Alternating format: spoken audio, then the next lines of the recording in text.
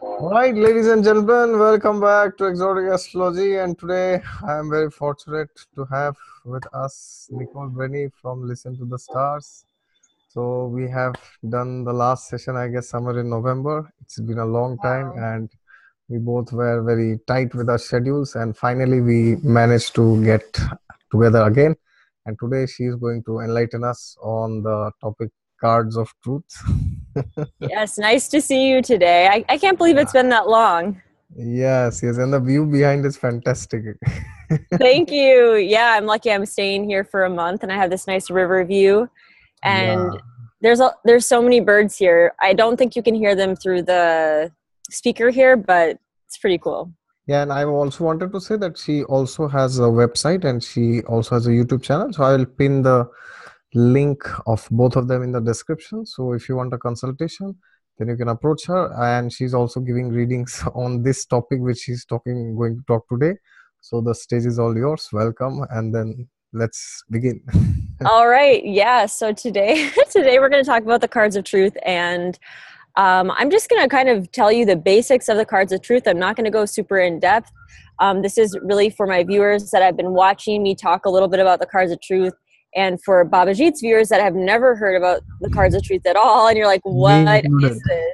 yeah, it's like it's kind of something that's floating around the internet, floating around the web, and so I'm not going to go into like the super technical stuff. I just want you guys to under, get an understanding of what it is, how to use it, and what it's good for. So, the cards of truth is, I believe, a name that Ernst Wilhelm has used to describe a system that uses playing cards to predict the future, to read about personalities, and to align the playing cards with astrology. So, the cards of truth, if you are like kind of looking around online, you could see something similar labeled as um, the cards of destiny our magi cards there's different names for it but usually the cards of Dest- destiny is probably the most common one that i've seen um, but ernst wilhelm really studied this system and saw some flaws in it and kind of applied his own logic to it. And he came up with not only like a refined way of reading the cards that's based off of sort of more of like the traditional ways of reading playing cards but also he's come up with a software that looks at your astrology and then applies that astrology to a card system and to what we call quadrations to tell you about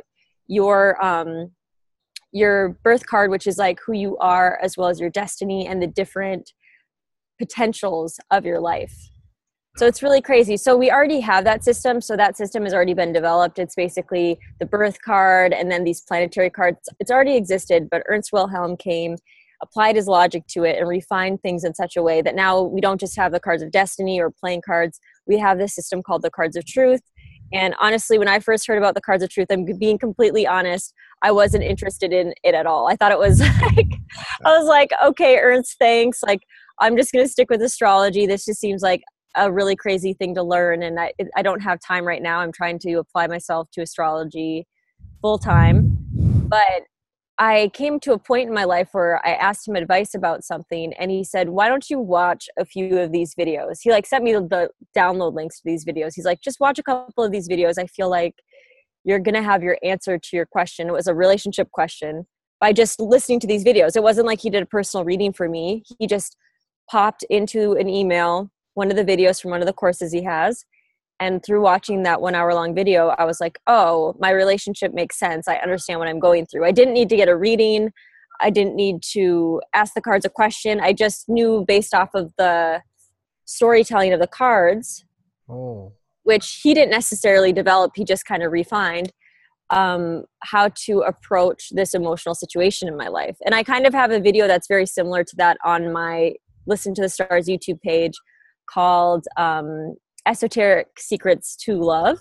And it's a very similar um, it's a very similar video to the one that he sent me except for i used my experience and my understanding of working with the cards for a year in that video. So it's a pretty magical system. It's like you don't even have to cast cards to predict. You don't even have to use a system to, to predict the mythology not the mythology i want to say like the um, wisdom space of the cards themselves are like really profound. Just the wisdom that each of these cards it's like basically there's 52 cards in this deck and it's what he describes it as and what other authors have described it as is this is like a book of 52 cards and each page or each card in this book has its own set of wisdom.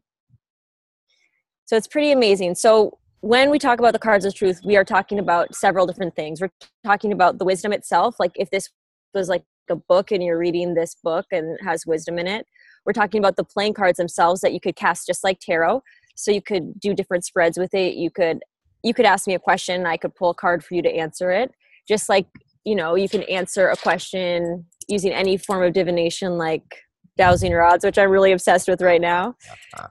And um i know like i just i just carry these around with me right now because they're what, so what is that? That dowsing rods. So like they're used to find water so if i'm like where's the river? they can point to the river. See how they're pointing to the river? Oh. Or i could say is my name Bhabajeet? and they said no. Okay. Right? Is my name nicole? Yes so they just Oh, say wow. yes no or they can point to things like where is like is there an eagle around here? Where's an eagle? And they're pointing towards an eagle. But, but how, how how that is happening this i don't know they're magical. I'll do a video on them another time but these are like the coolest coolest things. My sister-in-law marisa got these for me for christmas and i just started using them now. This is related to these cards or No, I'm just showing like this is another thing. Like basically, you can use the cards as a divinatory tool to say yes or no, or who, what, where, when, why, and how. So that's one system where you're basically shuffling the deck Mhm. and asking questions, just like tarot, just like any divinatory tool, like dowsing rods, you know, scrying of some kind. Um, then the other thing that when we say the cards of truth, what we're talking about is this software, this system, where basically using your birth date, time, and location, every single person in the world has a birth card, and based off of their birth card, they have a spread, a birth oh. spread Oh. that is calculated from the birth card. So the birth card talks about the unchanging person that you are. oh So, as my unchanging person that I am, I'm an eight of diamonds. So, oh being an eight of diamonds, it's actually, sorry, my nose is running. it's so like, it's windy here. So, it's like blowing my face around. i thought you Um, had some indian cuisines Yeah, I like spicy food. I know. Um, so being an eight of diamonds, basically, that's like a card of financial power or um, power in your skills. So during this lifetime, I might deal a lot with money. I might want to have financial power. To me, the eight of diamonds, what I've seen it come up as in spreads is like a card of saving money. So that's like also being in a position of financial power when you're really good at saving money. Um, or you could just be really skillful, like a very, very skillful person that's really in tune with their skills and their abilities. So it's a very strong and powerful card. so there, there's That- only one card you card you mean like uh, you said there's a spread of cards Yep, so that's your birth card. And then based off your birth card, there's a whole bunch of different cards, and those show different areas of your life. Like, there's a bug that flew in my on me. Love being outside. Um, like for a woman, their Jupiter card will represent something about their spouse, or if it will, if they'll have an easier or hard time with men. So I'll show you a couple of different spreads we can look at. I actually just randomly pulled them up. I haven't studied them before, but I'll just kind of show you a little bit about each spread. So when we're talking about the cards of truth, we're also talking about basically like your birth card spread, which if you want to relate it to astrology, it's basically like looking at your astrology chart. And what Ernst Wilhelm has done, which is fascinating, is he's placed the planets into each of these cards. So depending on which card you have, you'll also have planets impacting these cards. And are you familiar with the Lajjitadi Avasthas?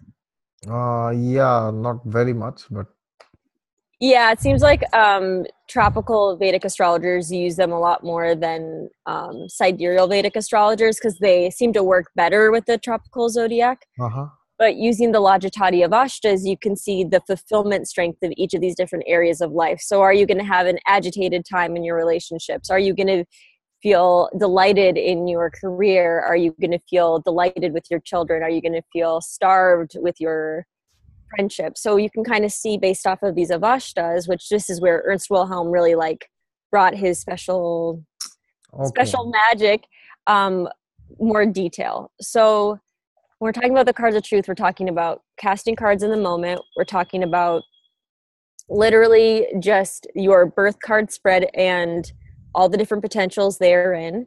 And then, if you want to take it a step further, we're also talking about this way of reading each day almost like a horoscope. So, every single day of the year has a Oh, birth card or a card associated with it. So, every single day, there's a prevailing card energy. And this is really fun. So, anyone that's watching here, if they really don't have any interest in switching from reading their astrology chart to reading their cards of truth chart, one way to get a really fast and easy horoscope is just to know which which card is running each day. Um, oh, and I actually have a student that created a PDF list of each day of the year and the card associated with it. So if you know how which each card means, okay. then you'll be able to know what the prevailing energy of the day is. Oh, Yeah. And that is specific for every person because the number of cards is limited. I, I think. I think. Or how is it like? So for the whole world, there's a prevailing card of the day. So for everyone on the planet, depending, like I don't know exactly based off of where you are, like sunrise and sunset, because we're on opposite ends of the world, Yeah. what day it would be for you. But right now, for me, it's a five of spades day. Okay. Okay. So that means that in general, as like an evolutionary thing, just like we talk about, okay, the full moon is in Scorpio this week. This is what it means for Ah. the entire world. Yes. Yes. We can say the same thing. So today is a five of spades day. Okay. Okay. No, I thought for every person, for their every day, it's like where planets are transiting as the ascendant. So I was thinking They- on those terms. They do have that too, though. So you have your birth card spread and then you can progress it. So I'm going to actually just start sharing my screen so that you can see this. And I really hope you guys can see me with this bright sunlight because Yeah, it's looking beautiful. I wanted I wanted to be outside today. So here we're just looking at basically if someone was born today, this would be their birth card spread. Oh, okay. Actually, I'm going to switch to um, Bob Dylan so it's not so confusing. So when you get the software, which I will maybe comment in this video with some links to the software so you guys can buy it if you want. It's not expensive. Mhm. But when you open up your Cards of Truth software, it will look like this. Is it available for Mac also? No, but if you get a basically Okay, we can use through crossover. WineBottler. yeah, WineBottler is great. That's a good one. So, okay, I can't use my mouse for some reason. Oh, here we go. Annotate. I need my spotlight. You know what? Never mind. Okay. For some reason, Zoom isn't letting me use my cool pointer that I always use. But when you first open up your software, it's going to look like this. Uh-huh. And then if you just click on a card, it, this is what I'm actually reading is you click on this card and your birth card spread pops up. So right here in the upper left hand corner, this is your actual birth card spread. So when we talk about the cards of truth and I talk about doing a cards of truth reading, I'm essentially talking about looking at this card spread and reading about your life path, your destiny, who you truly are, and all the potentials therein. Oh, So it's kind of similar to like looking at your- a birth chart, right? You're like, okay, your ascendant is kind of like how you project yourself onto the world. Your sun and your atmakaraka is kind of like your soul. Your moon is your emotions. We can kind of break up the birth chart into these different areas if we really wanted to, right? okay. So, uh, if suppose somebody doesn't know anything about astrology, then also they can uh, get in tune with the system, or you must know something about astrology. It's extremely helpful to know about astrology because, as Mhm. you can see, you have a birth card, then you have a sun card, a moon card. Oh, Mars card, all the way through Pluto. So Ernst Wilhelm is kind of a Neo Vedic astrologer in a lot of ways. So he has used the outer planets. Uh-huh. And within these cards, you have the cusps. So the Oh, first okay. house cusp, the, you know, where's the first house cusp? Right here. Um, Oh, You have the second, fifth, sixth, third, seventh, ninth house cusp. So, you know, you might want to take a whole course on what is a house cusp. mhm. to understand that like what does the first house represent so that's going to be helpful and what what do all the planets mean just to read them within a card themselves. So when I'm teaching my course coming up, we will be studying the planets in depth because then every one of my students will understand which each card means, right? But to back it up, if you're just casting cards in the moment Okay. with a deck, you don't need to know anything about the planets except for to allow you to go deeper with the different numerology of the cards because every single card through numerology is related to a certain planet Uh huh. right? So in the system I've learned, which I know is different from other numerological systems and other astrologers, the planet uh, Saturn rules over the number seven. Mm-hmm. So understanding Saturn's relationship to restriction, to boundaries, to separation, and the heart's relationship to emotional situations, I can understand quite easily that the Seven of Hearts has to do with restriction, boundaries, and separation, maybe in relationships or with an emotional situation in general, right? Mm-hmm. So knowing astrology helps, but it's not necessary if you're casting in the moment. If you want to learn this system, I'm like, I'm just thinking you would probably want to. You would have a real handicap if you didn't know it. Okay. Nice. And astrology to the level of just knowing about the planets. Like I've been doing these makeover videos on my channel. I don't know if you've Oh. ever seen them yet. Yes, yes, sun. Yeah, I just did the sun. I mean, even if you just watched my makeover videos, which are like less than 20 minutes long, um, and they describe the qualities of the planets, like that could be enough information for you to know about the planets. Maybe watch, I usually do when I do those videos, I usually do a makeover video, an all about the planet video, and a day of the week video relating the planet to the day of the week. If you just Mhm. watched those three videos, you would know enough about the planets to easily support your understanding of the cards. Yeah, so, so basically, there's not much detail or very high level required astrological knowledge to understand this. Okay. Yep. as an entry level, like as an entry point, no. If you want to go deeper, absolutely learn more. Like I know people, my friends that have studied Jaimini astrology that know the cards of truth, they can pull out a lot of crazy details because they understand different planetary combinations in relation to career, in relation to number of children, because Jaimini is so amazing for that kind of stuff. So anytime that you understand more about astrology and apply it to the cards, now you're getting to some kind of a crazy level. Mhm, That's interesting. So learning astrology will never hurt you with this system. And as we have dashas and all these systems, so like when will this person get married or when this person will get a job? So is there something of that sort also here? Um, yes, I just dropped a card, so this is going to be the card that I read for everyone watching. You have to pick it up.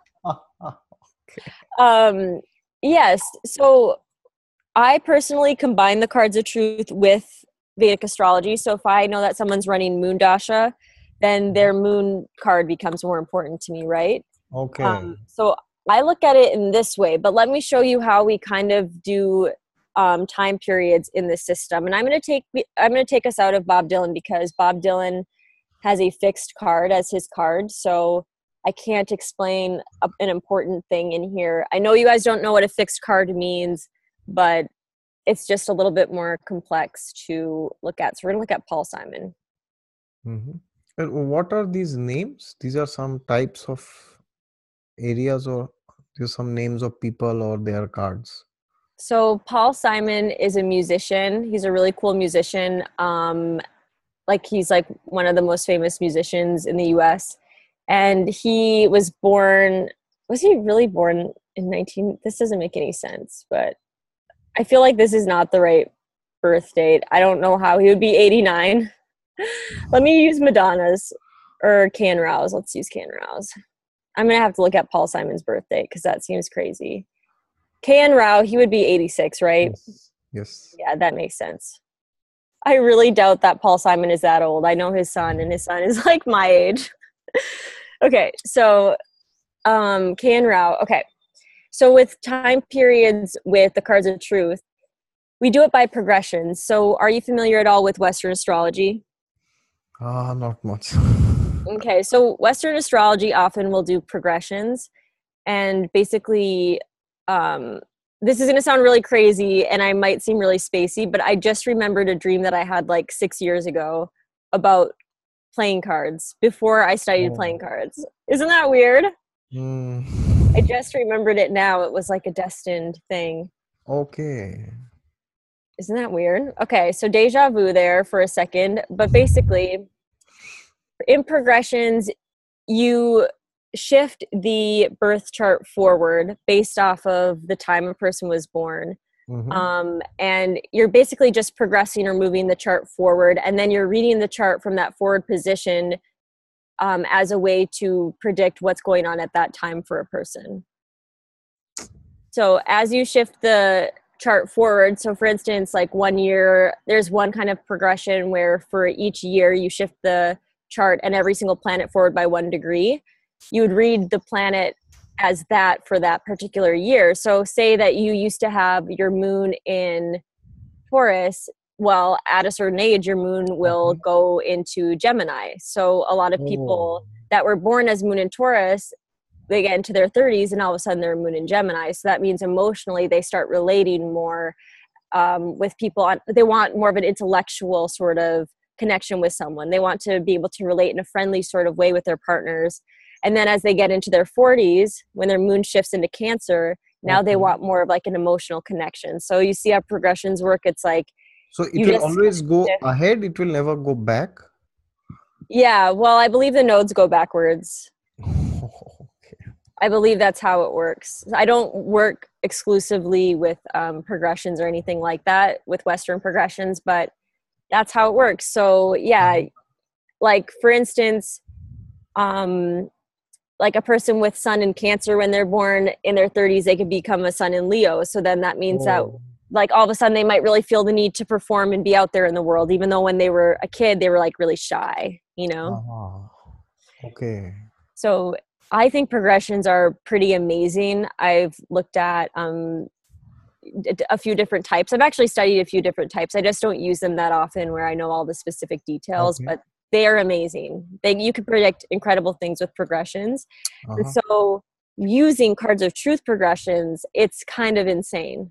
It's kind of insane the level of detail and what the cards can do. And because every single person on earth has a birth card attached to them, you can make specific predictions related to people in your life. Oh, okay. So instead of dashas, what we do is, you know, we cut a person's whole life down into seven year periods. Okay. So zero to seven, eight to 14, whatever that would be. Um, for instance, KN Rao, when we zoom in on his life, his seven year period right now Uh-huh. would be between ages 84 and 90. Okay. So instead of being a 10 of clubs, he's progressed through the cards to the point where now he's a 10 of diamonds. Oh, okay. That make sense? Oh, it's like that shifting of the planets. This is also shifting. Yes, and I think the mathematical way it's done is different. And unfortunately, I'm one of these people that's terrible. I'm very terrible at explaining mathematical processes, but um, the process that is used is called a quadration. Mhm. And I'm not sure of the exact patterning that is followed, but it's scientific. It's not random. There's no random pattern here. So if you were born on the same date and time and place as an individual, you would have the same progression. It would follow the same order. Okay. Okay. So KN Rao is now a 10 of diamonds, and now the prominent energy he's going to be experiencing in each part of his life. Like Mars is his willpower, Mercury is the way that he balances his life, Jupiter is um, could be his children, his philosophies, his teachers. All those things are going to be more specifically geared towards these energies opposed to these energies. So they're not the same cards. So the energy is going to be slightly different. So, you know, have you ever seen these people? Maybe it's not as common in like, you know, overseas as it is here. But there's these people, like these women, for instance, that they get married after high school, they have a family, they raise their children.